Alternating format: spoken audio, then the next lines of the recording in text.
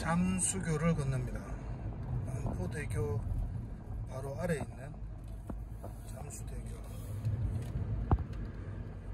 물이 오면 아, 비가 많이 오- 오고 한가위 봄나무하면 이 반포 대교 아래에 있는 잠수대교는 어, 물에 잠긴다는 거죠. 그 물에 잠기기 때문에 잠수대교인 거죠.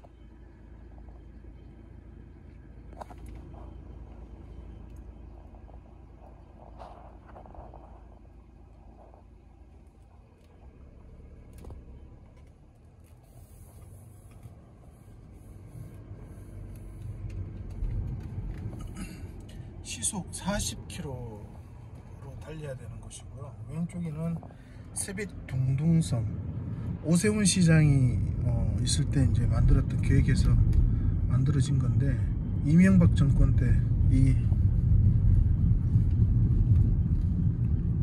거의 완성은 되었죠.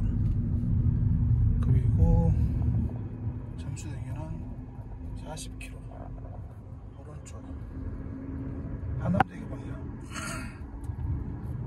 그리고 여기는 차도의 폭만큼 왼쪽에 자전거 도로와 인도 사람들이 다닐 수 있는 부분들의 차선이 모두 자전거 도로가 잘 되어 있습니다. 왼쪽 동부 이천동, 서부 이천동 쪽이 보이고요.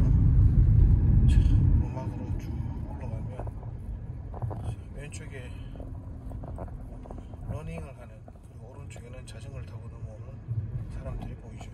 시속 40km 구간입니다. 잠수대교는 밤에는 반포대교에서 잠수교 아래 방향으로 분수쇼를 합니다.